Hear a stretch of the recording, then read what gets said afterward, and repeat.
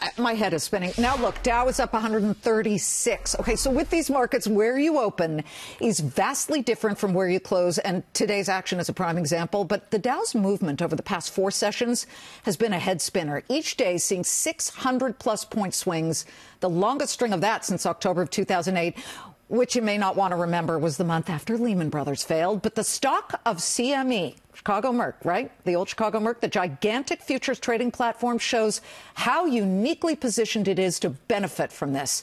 The stock is up 30% year to date, and in a Fox Business exclusive, we take it to the CME. And the man who leads this behemoth that handles massive trading moves in oil, Bitcoin futures, volatility futures, Terry Duffy. Great to see you, Terry. Thanks for coming on.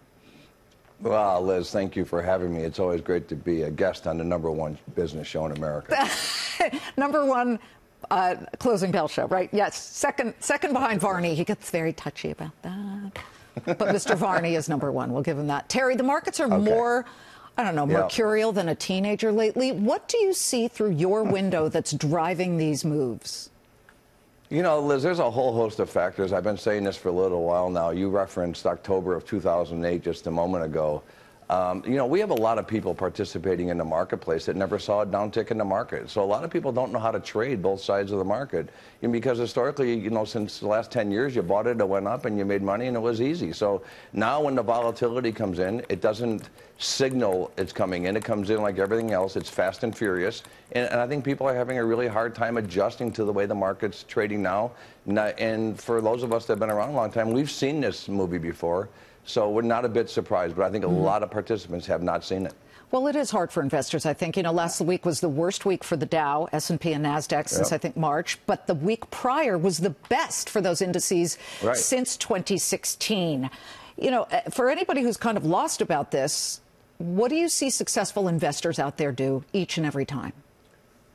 Well, I think what they do is they, they, they manage their risk and they have to take a measured approach uh, going forward. You just can't put all your you know, eggs into one basket, for lack of a better term. You, you have to manage your risk, be diversified in your portfolios, and understand that we're going to have volatile times. We've never seen a government act like we've had here in the United States. I'm not saying it's good, bad, or indifferent. It's just a little bit more unique, and it's influencing the markets more than it ever has. We have the Brexit situation, which I know people have been talking about all day because of what happened over there with their vote being canceled.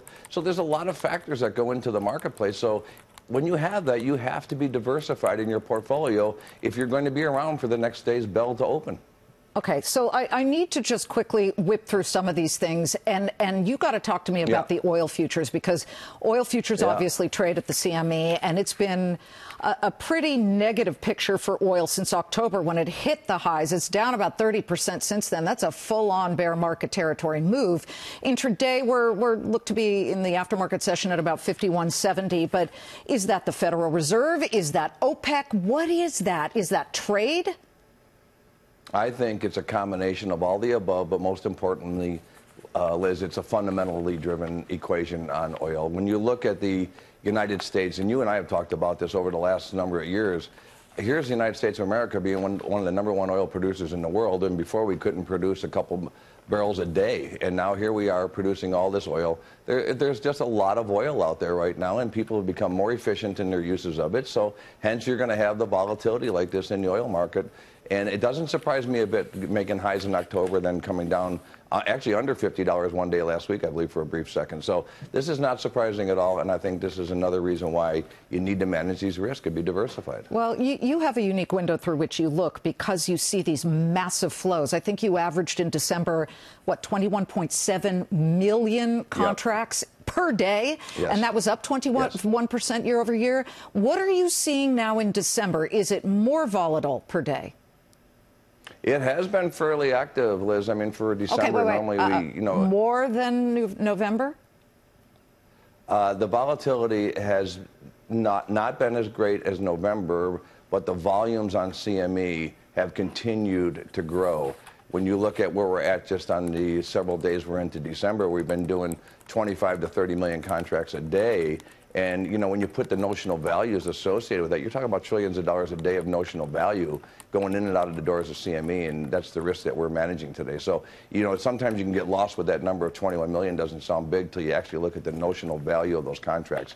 It's in the trillions on a daily basis. Yeah, so I know. Quite I know. large, uh, quite large uh, of the the markets that we're uh, representing here. Wow. So it's continuing to grow from what I thought was a pretty hot November. You're, you're a big businessman, Yeah. um, you know, who sees uh, through a different lens. Tell us how you see the U.S. economy.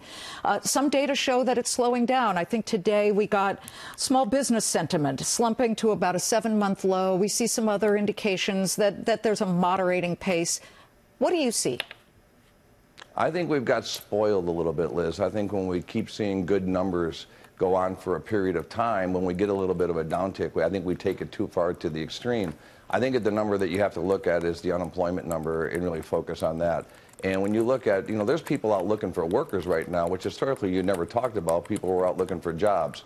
And now we have a shortage of workers. Now, they may not be the most advantageous jobs, but at the same time, we have unemployment down at record lows for the most part. And, uh, we have people out looking for workers. That's one of the things I focus on. So I, I can't get too worked up about the interday downticks. I think you have to take a look Yeah. at the longer picture of the economy and the U.S. especially. Hi, you're coming up on a one year anniversary. One year ago next week, you guys launched the first Bitcoin futures. Yeah. Uh, you know, so there, there are all the black helicopter ideas out there, and there's an outfit called Right. Crypto IQ that, that's blaming you guys, saying, oh, you guys are printing paper bitcoins, God. and there really was only supposed to be 21 million in bitcoins out there, and it used to be 19,000. This is your fault that it's only 3305. Um, listen, I, I look at this as saying you guys just opened a window and brought the sunshine in on, on where this thing would find its water level. Uh, What do you say to that? Well, you can take any market to any price when there's only one side of the trade, Liz, and that's exactly where cryptocurrencies were. There was no way to create a two-sided market because there was no short uh, ability to short the market. And there's no markets that's going to be sustainable unless you have both sides of the trade on there. And Bitcoin, when we launched it, obviously there was a sentiment that uh, other people thought it was overvalued, and they appear to be correct right now. But when you look at it, we're trading roughly 3,600 contracts a day, Liz. This is not like we're trading millions of these things a day. It's a very small amount of trade here. We have huge controls set on Bitcoin that we have on no other products at CME. So this is just a reflection of the sentiment of the Bitcoin market, not a reflection of the, what the futures market has done to the price of Bitcoin. Terry, thank you so much, and uh, uh, good luck to your Blackhawks. Maybe they'll get an identity for Christmas. Woo, yikes. Thanks, Liz. Appreciate it very much. Good to Happy see holidays you. to you and your Thank family. Thanks so much.